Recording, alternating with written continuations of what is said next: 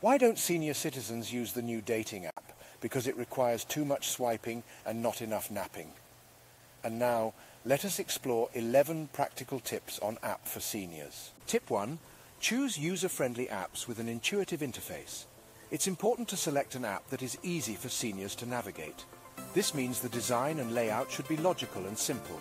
Avoid apps with too many submenus or complicated features.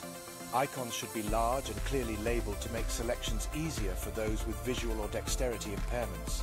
Tip 2. Prioritize apps with adjustable font sizes. A common challenge seniors face is poor vision. Hence, apps that provide the option to magnify or increase the font size can be very useful. This will facilitate a comfortable reading experience and limit straining of the eyes. Tip 3. Consider apps with voice recognition capabilities. Voice recognition is an excellent tool that can simplify app usage for seniors. Instead of typing, they could use voice commands to perform a task in an app. This is especially useful for those who find typing on small screens difficult or those with motor skill impairments. Tip 4.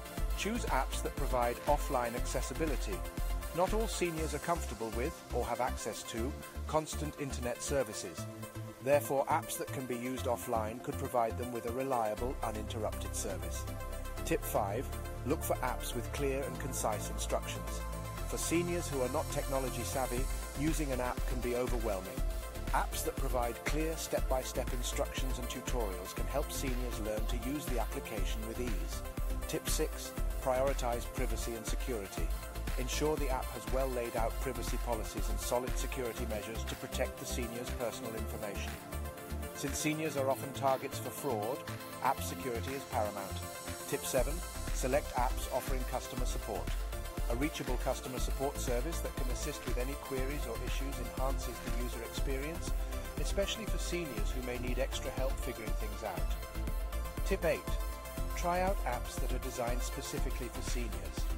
There are apps tailored to meet the needs of the elderly with features such as health monitoring, reminder for medication, brain training games, etc. These could prove to be beneficial and entertaining. Tip 9. Consider apps that facilitate social interaction.